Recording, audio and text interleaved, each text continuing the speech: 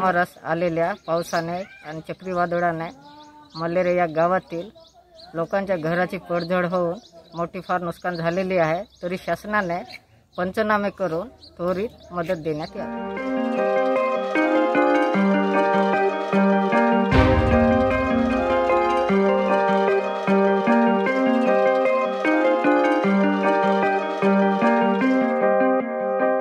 संपूर्ण देशात कोरोना महामारीचा थैमान आहे.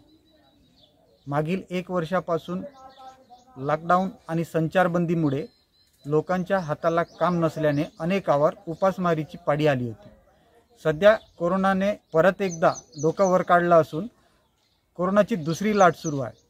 सध्या संपूर्ण राज्यभरात लॉकडाऊन आणि संचारबंदी लागू केल्याने याही परिस्थितीत गरीब लोकांच्या हाताला काम नाही. अशा परिस्थितीत काल रात्री आलेल्या चक्रीवादळाने मल्लेरा येथील लोकांचा खूप मोठा नुकसान झालेला आहे.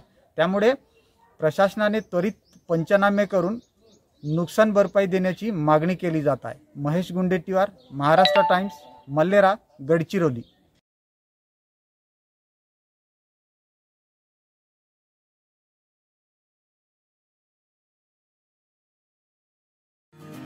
महाराष्ट्र टाइम्सचं यूट्यूब चॅनल सबस्क्राईब करा आणि लेटेस्ट अपडेटसाठी बेल आयकनवर क्लिक करा.